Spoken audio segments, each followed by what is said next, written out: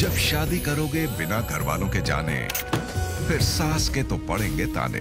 बिगड़े घर की बिगड़ी बेटी। ही मामा तुम क्या बात कर रही हो? कुछ कुआरी नहीं बैठी रही होगी। दो सौ चूहे खाकर अब आई हैं हमारे घर में। बस कीजिए मामी। और सिमरन अब इस घर में नहीं रहेंगे। घर में नहीं रहेंगे एक बेटे को अपने माँ बाप से अलग करने का दोष तो मुझे पर आएगा ना? एक माँ के टूटे हुए सपनों पर घर बसाने की कोशिश कर रही हो ना? टिक नहीं पाएगा तुम्हारा ये घर नहीं पाएगा तुम्हारा ये घर। आपके आ जाने से एक प्रेम कहानी रात साढ़े दस बजे।